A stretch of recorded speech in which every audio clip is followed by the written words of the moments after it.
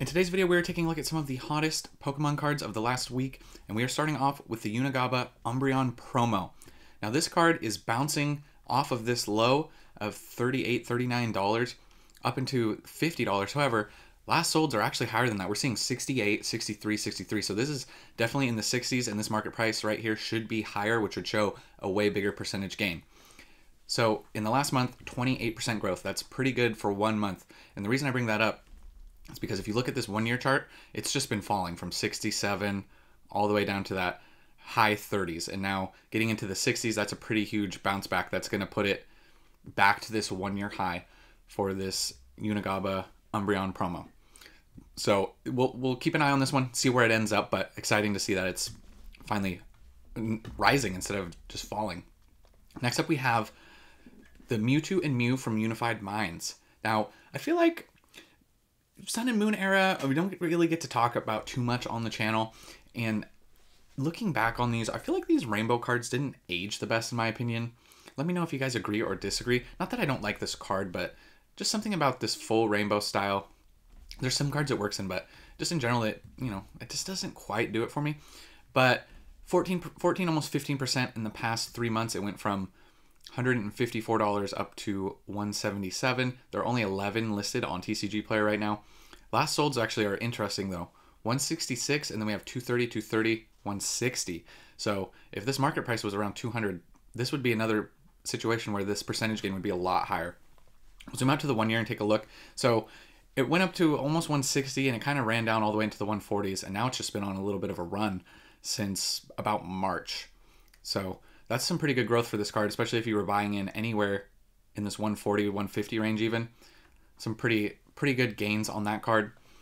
Then we have Team Up. Once again, Sun Moon era. We're getting back to some of these cards. These are, you know, these there's some nice cards from this era, although I do feel like in general they get overshadowed by Sword and Shield and Scarlet and Violet just because the arts in general have gotten so much better. But I think this card holds up. It's a very good card. It's only up 10%, so percentage wise, not the biggest gain, but dollar pretty decent. It went from 310 up to 340, so a $30 gain on the Gengar Mimikyu tag team card. Seven, almost eight percent in the past month alone. The one-year chart looks like it went from about 297 down to 260, and it's just been on quite the tear. Only five copies of these currently available on TCG Player, with the last solds being way higher 500, 350, and 650. So if this continues, this is going to go way, way, way up.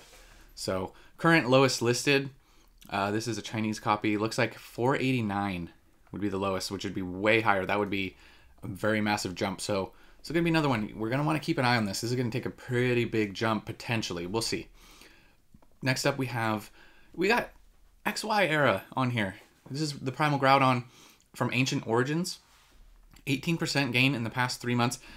We don't only we don't only have uh, older cards on here. We got some some newer cards as well. Don't worry, that's coming up. But if you're only here for the new stuff, but 18% in the past three months is pretty good. In the past month, it's kind of leveling off up a little. This is a card that doesn't get sold a lot. There's 14 currently listed on TCG, but the one year chart's looking solid. This is looking really good. It's just climbed from 68 all the way up to 113. Last solds we're seeing kind of all over the place with this $100 100, 170, 175, 250. So this will be another interesting card to see where it ends up. It's but that one year chart's looking nice. That's just really long, steady growth. Uh, this is just a quick reminder right here to subscribe to the channel if you are not already. The reason I'm bringing this up is because we are nearing 10k subscribers, and I'm going to do a pretty decent giveaway for for a smaller channel.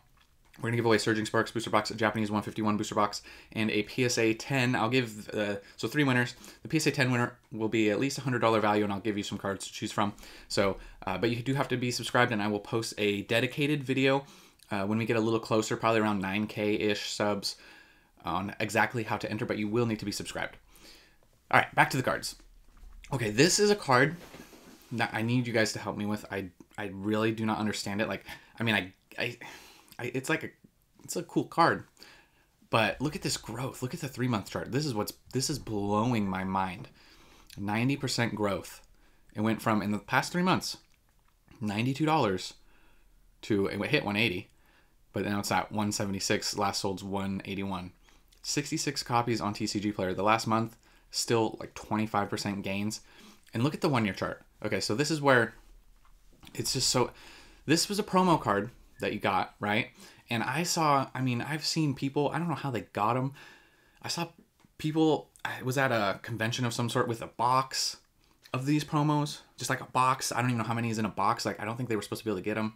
It was from, yeah. So this just, it went from 160 down to 80, and then it like kind of rode this lower price for a long time in the 80s up into the 90s, and then all of a sudden it's just shooting up again. This is a card like I'm not buying this card for 180. I'm not. I don't know. It's just I don't understand that. So help me help me understand in the comments like what is I I, I know what it is, but like why are people so hard up for it at this price? Like I'm not even I wasn't even about it honestly even anywhere in this area for me. Uh-uh. I mean like it's like if I got it for free, you know, like if you get it for free from buying it from the Pokemon Center or whatever, that's cool. No way, you know, or you bought it just cheap. But this is this is ridiculous.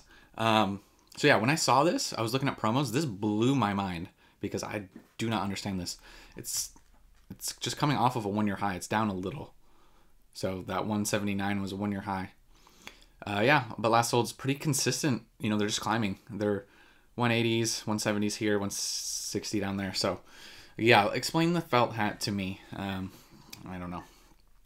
Okay, next up, this is a card we talked about. We made we talked about this card a long time ago, and Paradox Rift is a set that has a lot of good illustration rares.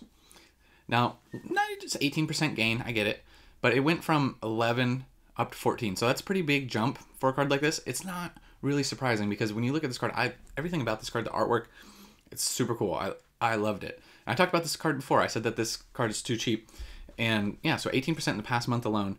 The three month chart's not as good. It's only up 6%. But we zoom out to the one year and we can see what happened. This card was $4, $5, $6, and then it had its big run up to 17, cooled off, came down to like 11, and now it's back up to 14.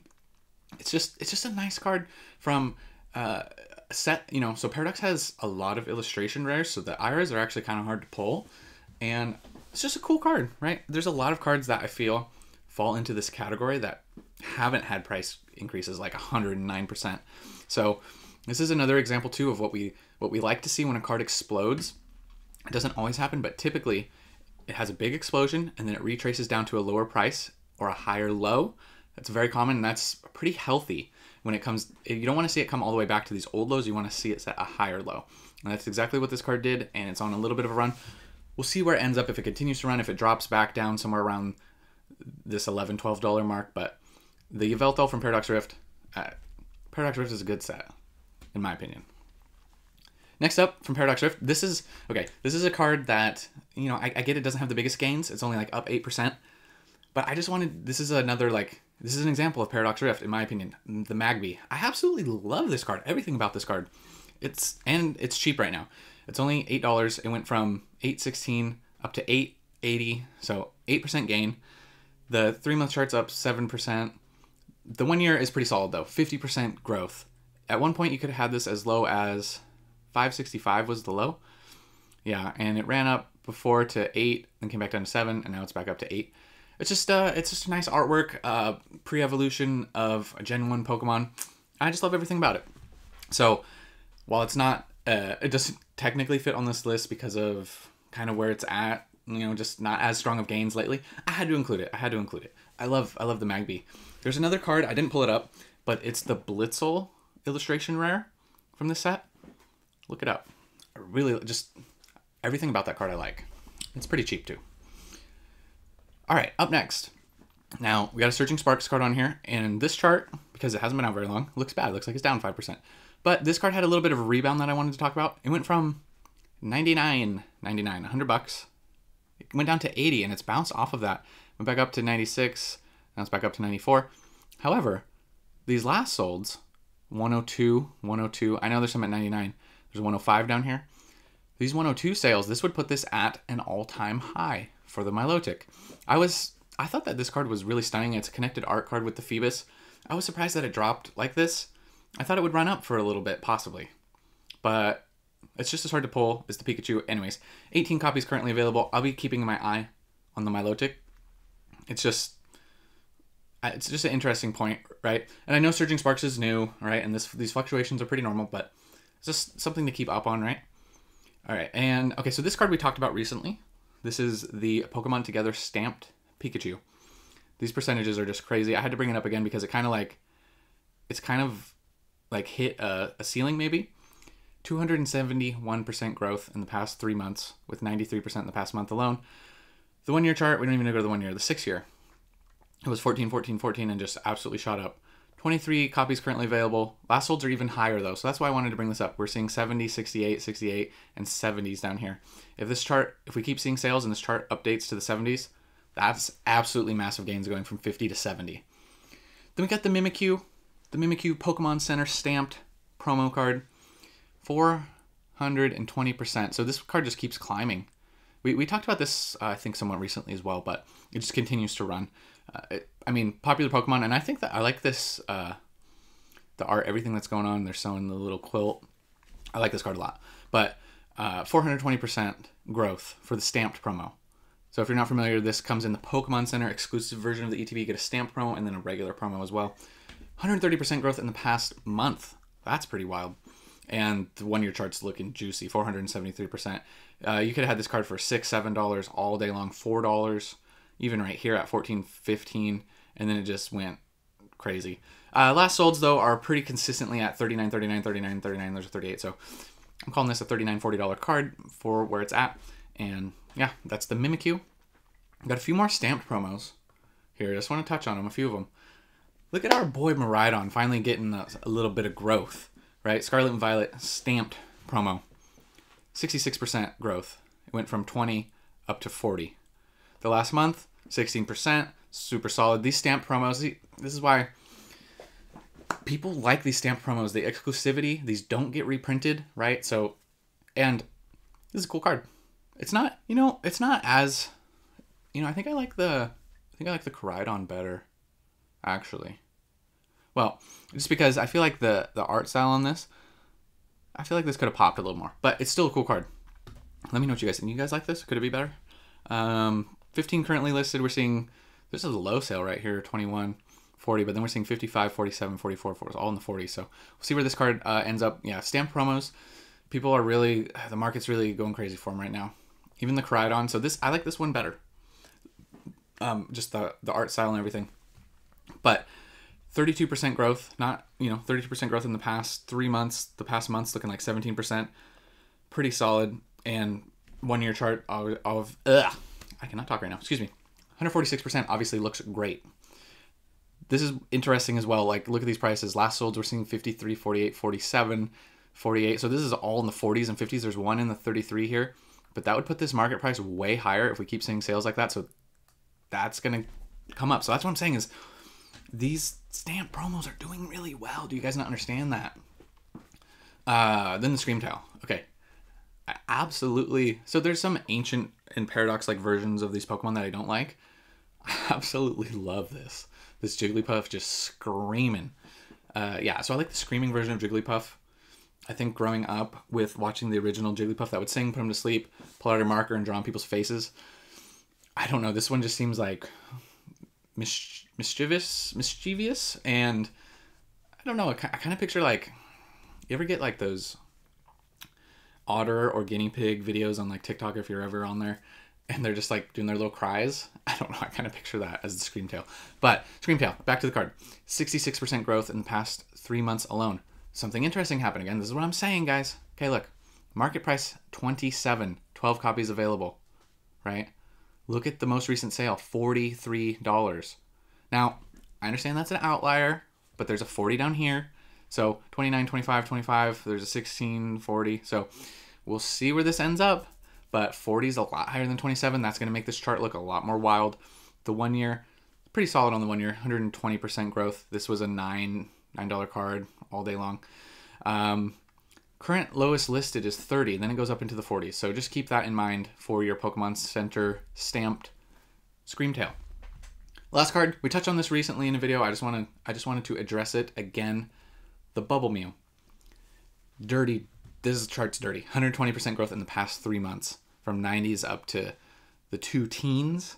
We did see a 240 sale somewhere in here um, that we touched on in last video is right here, 244. So that's kind of down the sales list now, and it's pretty consistent. We're seeing 215, 217, 220, 217, 208. And there is a 200 in here, but it's kind of definitely like leveling off. You can see it on the one month, it kind of levels off around 200 between 2 215 ish, give or take. And yeah, 20, 25% growth in the past month. But it looks like that's for now, at least for temporary, that's where it's going to end up. Now, if this is like the 151 Charizard, which I could see, this card will retrace. Now, I'm not saying it's not going to go back down to 80 bucks. It might retrace. See, see how it it went to 170 and then it kind of leveled off just for a little bit. Actually, we'll look at it like here. It went from 170 and kind of stayed there for a little while and then ran. I could see it retracing to this point. I could I don't see it coming back down to here. But like I said and I explained earlier, that's pretty common, right? Cards jump up in price. They they go big, which this is pretty big. They get big in price, and then somebody comes in and they go, "Oh my gosh!" You know, not everybody is tuned into the market like twenty four seven, and they go, "The Bubble Mew, I pulled that card. The Bubble Mew is two fifteen, and they'll they'll come on there and they'll go, "Oh, well, this I want to sell mine quick. I'll put it at one ninety nine. So a lot of the times that happens. Um, and uh, you know, and just the growth, this sustained rocketing growth, it doesn't just rocket up forever. Uh, for it to be healthy, sustained growth, you want to see, you want to see it come back down, set, like establish a support line. I know a lot of these terms, like, I'm not the biggest like stock guy, but kind of like stock terms, support lines and higher lows and uh, retracing and all of that. Uh, we're not going to get into that too deep, you know, Fibonacci retracements and all that stuff. Um, but yeah, it's it's good to see these cards retrace. You want to see them retrace and set higher lows. Otherwise, you're looking you're looking at like bigger crashes. And yeah, so with just with the market being what it is, just keep that in mind, right? So for me, if I was looking to pick up a bubble mew, bubble mew right now, I and generally as a rule do not chase highs, right? I'm not I wouldn't chase this high. I would wait and wait to see that retracement. We saw it with the 151 Charizard. Um, yeah. So there was a lot of people saying it was just going to keep going up forever, but that's not how things work. Um, they have to cool off or retrace for at least a while. So keep an eye on the Bubble Mew. Give it some time if you wanna if you wanna pick it up. So um, yeah, in summary, so those are the cards. I think we just we got some few promos, some older cards, which was nice to see. I like seeing some of those uh, cards on the channel. Um, subscribe for the giveaway. If you guys are if you guys didn't subscribe when I talked about it and you're almost 18 minutes into this video and you're not already subscribed, you obviously enjoyed the content. You don't hate me that much to get this far into the video. So uh, daily Pokemon collecting and investing content. I'll whenever there's uh, new cards announced, whenever something's going crazy, I'll make a video. You don't have to look it up. Just watch just watch the video. You don't have to do any work. I'll bring it all to you. Um, so yeah, daily content if you want to subscribe. Giveaway coming up. We got some Paradox Rift cards we talked about. We did some Surging promos. Yeah, so that's pretty much it. And then the Mew at the end. Um, stamp promos. Let me know what you guys in the comments. Let me know how far can these stamp promos go. And I want to bring up. Okay, I got not a lot surprisingly, but I got some heat last video. I talked about the Shrouded Fable stamp promo, the Pecharunt, and I was saying, hey, people really like these stamp promos. They they might make a little bit of money, and I got some hate for it.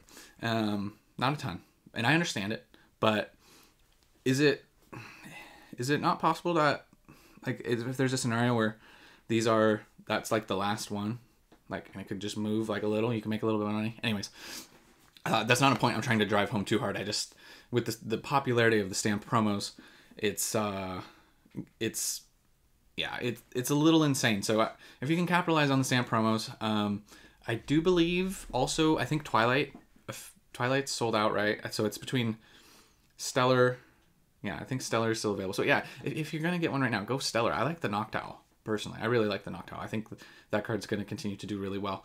Um, I remember just quick side side story. If you're older like me, when Gold and Silver first came out and they were announcing those new all those new Pokemon, wild, wild times. I was so excited for that. But anyways, that is gonna do it for this one, guys. I'll catch you in the next one. And remember, it was never phase.